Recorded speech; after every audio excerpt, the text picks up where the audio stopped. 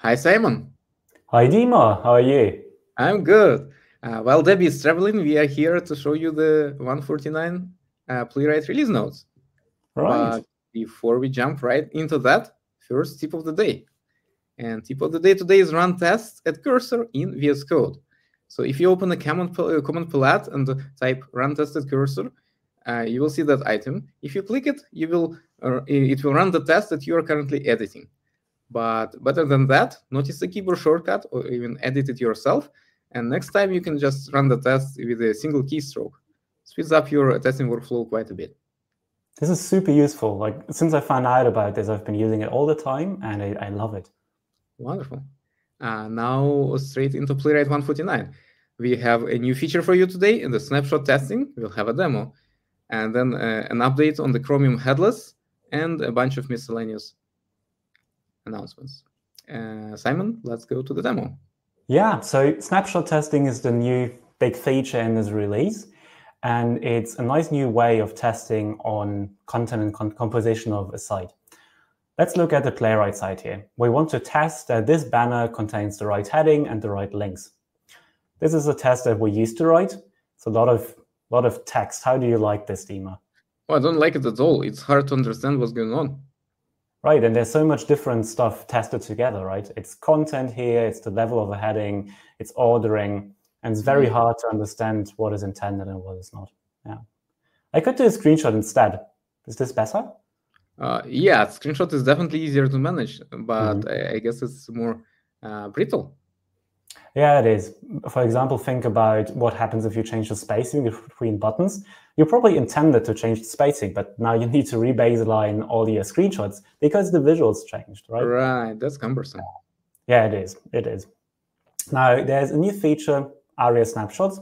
I'll show you what it's about. I'll record a new expectation here at the cursor. And I'll use this uh, assert snapshot button to generate an assertion on this entire banner, right? So it generated a nice assertion for me. And this now replaces either the screenshot or this above. So it's very much the same. Dima, how do you like this? Oh, this is much clearer. I can read it. Yeah. So this is a tree um, of the accessibility tree of, of your page, right? Um, actually, this comes from the DevTools accessibility pane here. So in DevTools, there's this tree if you go into it for this page, you can see this banner element, and then inside the banner element, there's these this heading and the three links. So exactly the thing we have here. Oh, nice. And the way this works is that um, you specify the accessibility tree you expect, and then Playwright tests if uh, the page actually matches what you expect. Mm -hmm.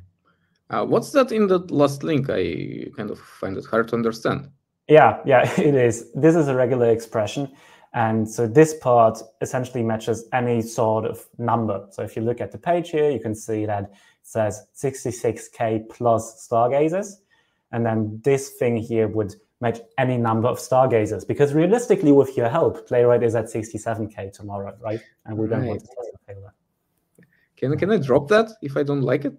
Right, yeah. So uh, Playwright only tests uh, on what you specify in the tree. So you could just drop this entire regular expression if you want, and then it would only test if there's a link. It wouldn't test on the accessible name of the link. Mm. Uh, what about that level one? Yeah, this is the same. Uh, you can also drop it, but this is really um, an accessibility attribute. So uh, this line means that it doesn't only test that there's a heading, but it needs to be a heading with the level one. So it would be an H1, right? You can make this two or three or whatever level you want, but you can also drop it. So if you don't care about the heading level, then you just don't specify the attribute, and Playwright will only assert that there is a heading and not the level. I see. So this is not the whole uh, ARIA tree. This is just a template to match against, right? And I can only put yeah. what I care about here. Right. Yeah, you only put what you care about, and this makes it very easy to just express the things you want to test and not test the rest. Yeah. Right. I love it.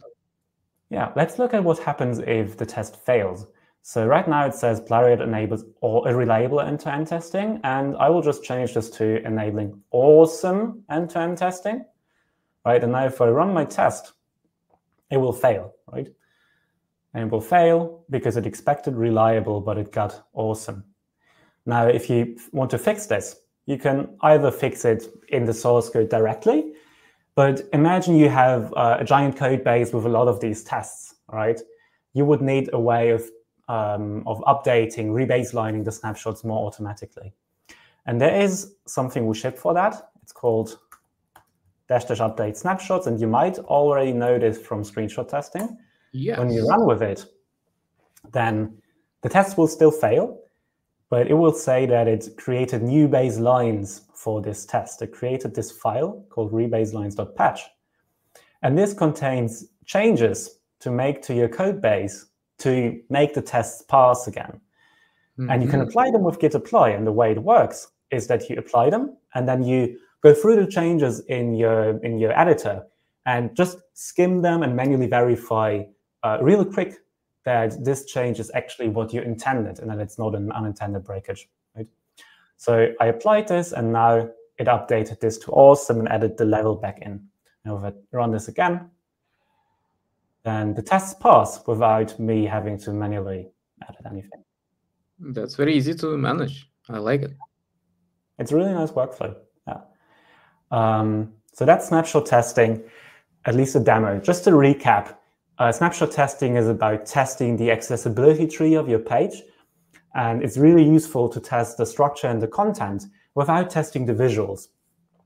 And um, yeah, so you specify the accessibility tree you expect and you specify the names you expect.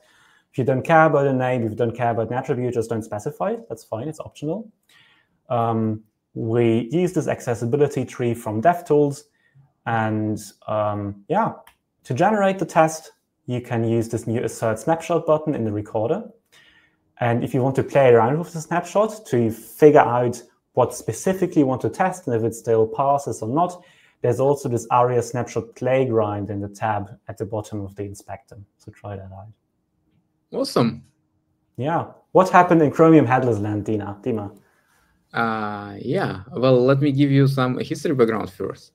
So for a while, uh, Chromium has been shipping essentially two browsers in one. One is the regular one with the UI, and the other is headless shell.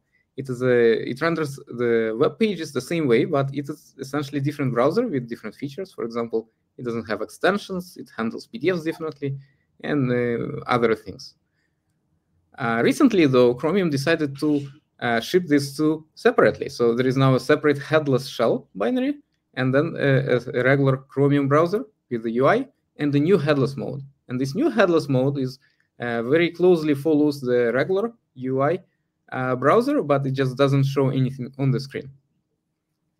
So given that background, uh, Playwright keeps working as it was uh, working before, no matter the uh, headless changes in Chromium. No action needed from your side. Uh, everything will work as before, and Playwright will run headless shell behind the scenes for your headless tests and regular Chromium for headed.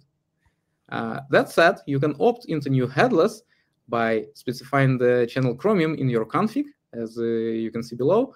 And this way, uh, Playwright will run the new headless mode instead of the headless shell for your headless tests. Uh, if you do that, though, you might encounter uh, some failures because uh, the tests that handle PDFs, WebGL, and some other things that you can read about in the release notes could fail. So you will have to update those tests. And also, most likely, you will have to rebaseline all your screenshots because screenshots between the old headless shell and the new headless mode are different. Uh, in exchange for that, you will get a browser that is much closer to the real browser that users are running because it's essentially the same, but just not uh, showing anything in the UI.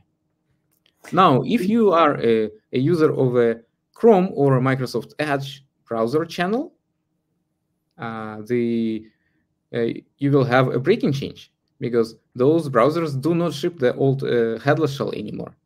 So uh, this, the same applies to you. You'll have to run your test suite, you'll have to update some tests, and you will have to rebaseline your uh, screenshots. Uh, look at the release notes for more details on that. Dima, this is the first time I'm hearing about this headless thing and headless shell and stuff, and I don't really understand but I'm worried that I need to do something. I don't really use channels, at least I don't remember setting any channels in my config Do you yeah. need to do anything?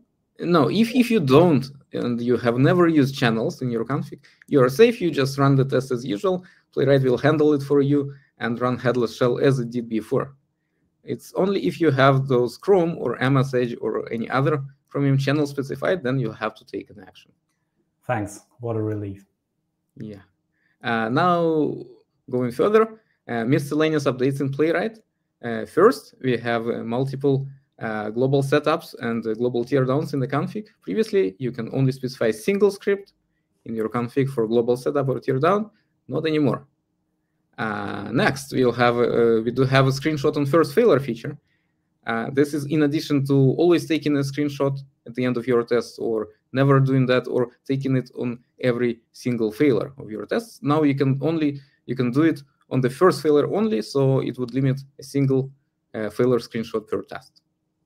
Uh, and uh, last, in the HTML reporter, we have a previous and next buttons uh, on the test view, uh, which allows you to quickly uh, switch between the test cases without going back to the test list. So this way, for example, you can quickly iterate over all your test failures with just the next button.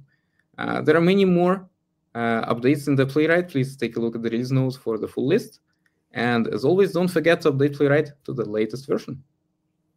Right. So that's 149. If you want to learn more about Playwright, go to our documentation. You can also find us on Discord, YouTube, you know that, and on X. Um, and if you have any feature requests or any bugs you find, please file issues on our repository on GitHub. Awesome. Thanks. Thank you.